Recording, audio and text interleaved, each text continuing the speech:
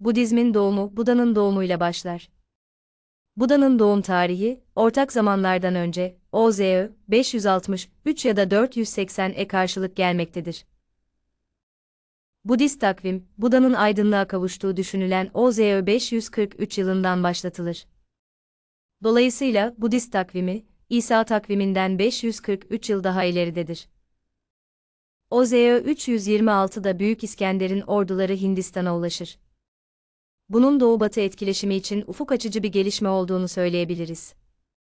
OZÖ 324'te Büyük İskender'in sarayındaki bir filozof olan Pirho, Budizm'den esinlenen bir felsefe geliştirir.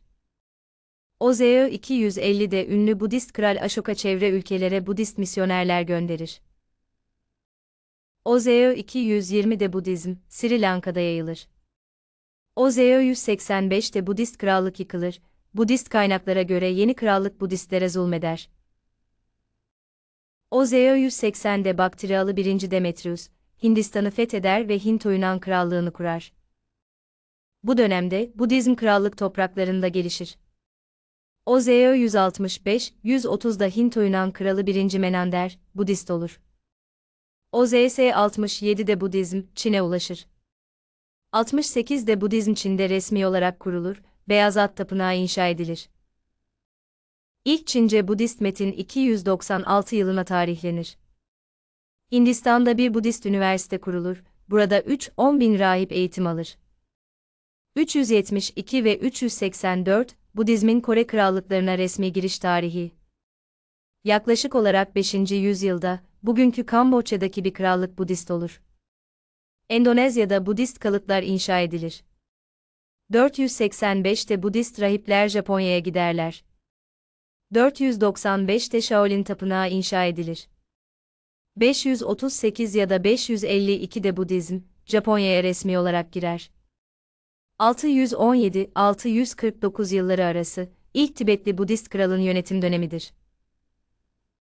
Yaklaşık olarak 8. yüzyılda, Budist Vataka hikayeleri, Kelile ve Dimne adıyla Arapçaya ve Süryanice'ye çevrilir, daha önce Farsçaya çevrilmişti. Ayrıca Buda'nın yaşamı Yunanca'ya çevrilir. 760-830'da Budizmin harikalarından biri olan Borobudur Tapınağı inşa edilir. Endonezya'daki tapınağın inşası 50 yıl sürer. 838-841'de Tibet'te krallık değişir, Budistlere zulüm başlar. 841-846'da aynısı Çin'de olur. Yaklaşık 10. yüzyılda bir diğer Budizm harikası olan Bagan Tapınağı, Myanmar, inşa edilir. 1084-1112'de yine Myanmar'da bir diğer harika olan Shivesigon Pagodası inşa edilir. 1100-1125 yılları arasında Çin'de Budizm yasaklanır, yerine Taizm desteklenir. 1181'de Angkor Wat inşa edilir, burada bir Budist tapınağı bulunmaktadır. 1200 yılında Nalanda Budist Üniversitesi, Hindistan'a yönelik Müslüman istilasında yakılıp yıkılır. 1238'de Tay Krallığı kurulur, krallıkta Budizm resmi din olur. Kubilay Han, Budizm Çin'in resmi dini yapar. 1285, ilk Moğol Budist krallığın tarihi olur. 1295'te Moğol hükümdarı Müslüman olunca, Budizm dönemi kapanır. Bugün Budizm, Kamboçya, Tayland, Myanmar, Bhutan, Sri Lanka, Laos, Moğolistan, Japonya, Singapur, Güney Kore, Malezya, Çin, Vietnam ve Nepal gibi ülkelerde yaşıyor. Daha çok bir doğu dini olarak görülmekle birlikte, küresel batıda da çeşitli tapınaklar kurulmuş durumda ve izleyicileri artıyor. Ayrıca Avrupa'nın tek Budist ülkesi olarak geçen, Rusya'ya bağlı Kalmıkya'yı da geçerken not edelim.